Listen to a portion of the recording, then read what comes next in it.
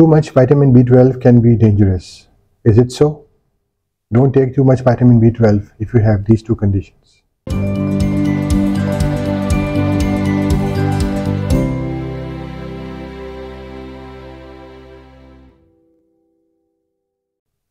Hello, I am Dr. Sulaiman Ahmed from Sehat Talks YouTube channel.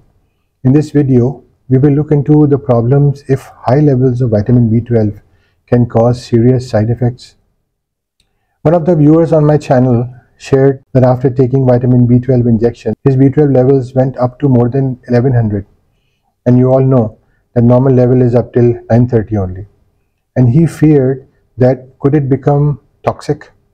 So I thought of creating this informative video to help you understand what can actually happen in case of vitamin B12 toxicity. See, injectable forms of vitamin B12 can lead to hypervitaminosis in some conditions, not every time. See, your doctor will give you the right dose of vitamin B12 supplements based on your blood test levels. This can be in the form of food supplements, pills or injections. It totally depends upon your medical condition.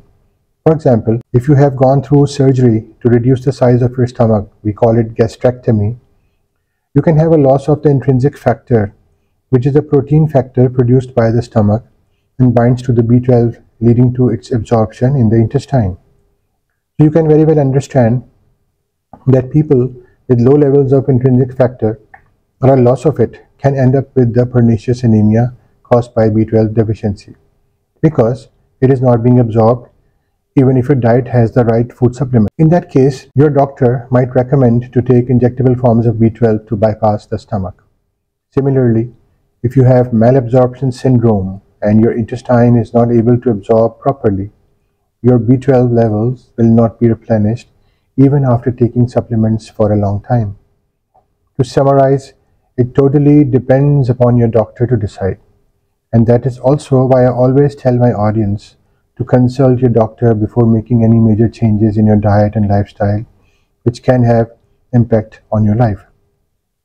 Before we talk about the two conditions, causing a probable hypervitaminosis of B12 in your blood. Let's talk about why we need to take vitamin B12. By the way, these two conditions include liver and kidney disorder, and we will be discussing more about these in the latter part of the video. It is important for you to know a little uh, and brief background in order to be able to understand whatever I'm going to say now. Watching this video till the end might save you from some serious side effects. Now let's take a brief moment to see why does everyone need vitamin B12. Mostly people are not strictly vegetarian. Getting enough through their diet is not a problem.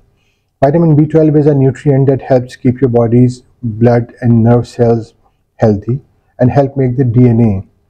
And this is the genetic material in all of the cells. And vitamin B12 also helps to prevent megaloblastic anemia, which means a low level of hemoglobin. This is the condition in which the people get weak and tired and their blood cells become bigger than the usual cells because of the deficiency of vitamin B12 and maybe folic acid. Now the question arises, how much vitamin B12 do I need? See, the amount of vitamin B12 you need each day depends on your age. Let me tell you a simple figure for the average daily recommended dose for the specific ages.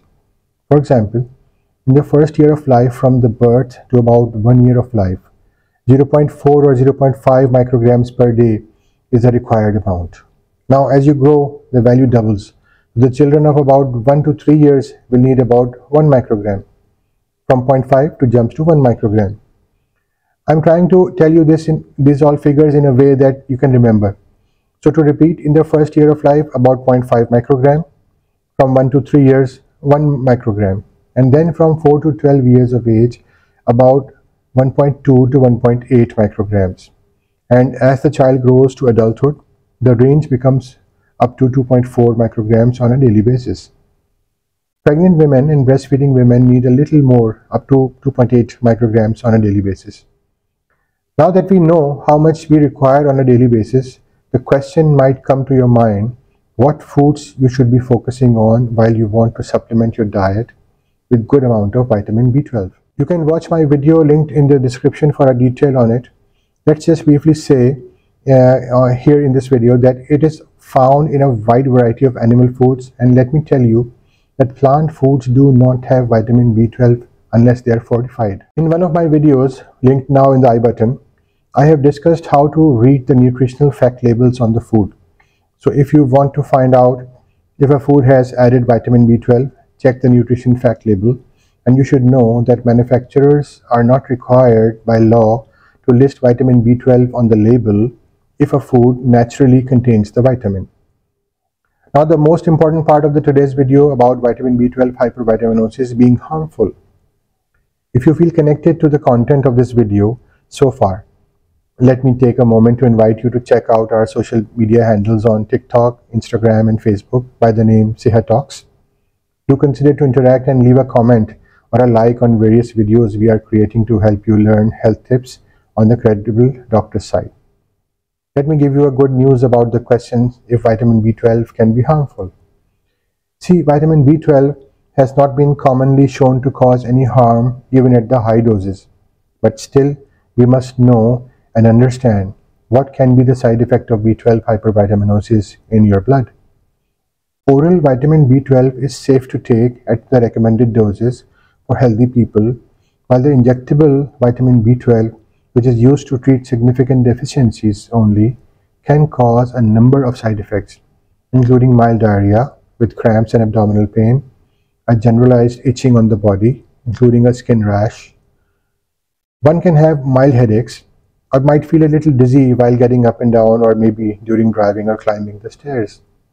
One can feel a little nauseated or might also continue to vomit.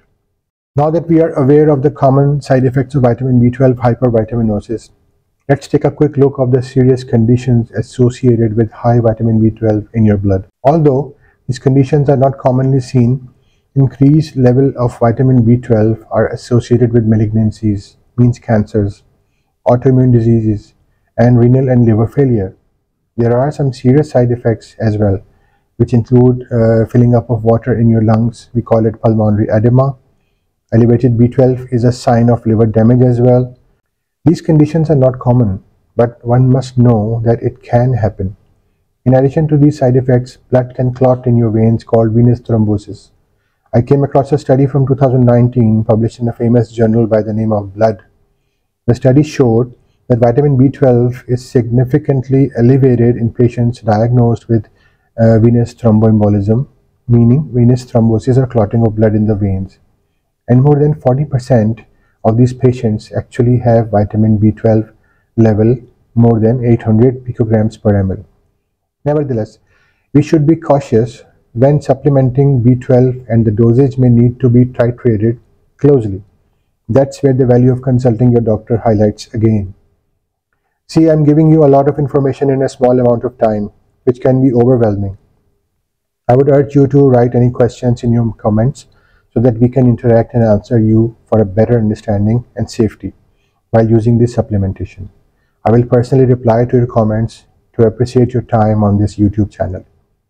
People can feel a sensation of bloating or swelling in your body and there is a condition called polycythemia vera which is a slow growing blood cancer actually.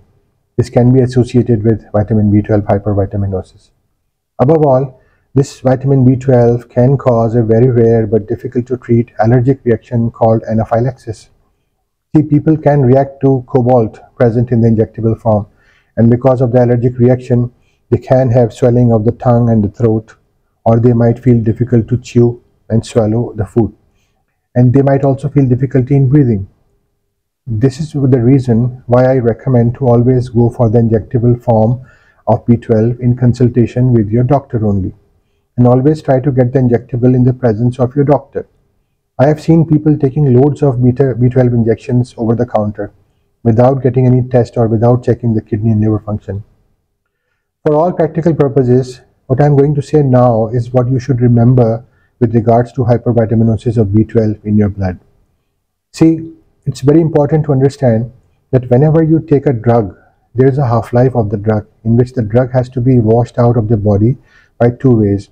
One is the liver, one is the urine.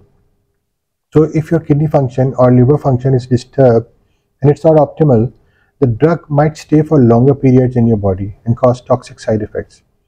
So again, the recommendation remains the same. Always consult your doctor for getting a prescription of injectable B12 in case if you really need it. Altogether, it can be concluded that an observation of elevation of B12 level in blood merits a full diagnostic workup to assess the presence of any underlying disease.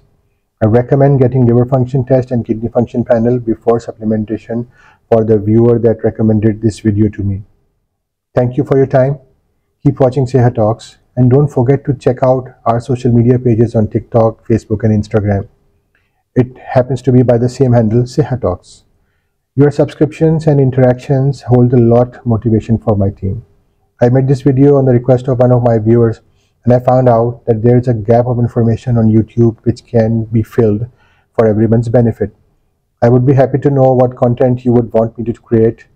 Don't forget to write in the comments.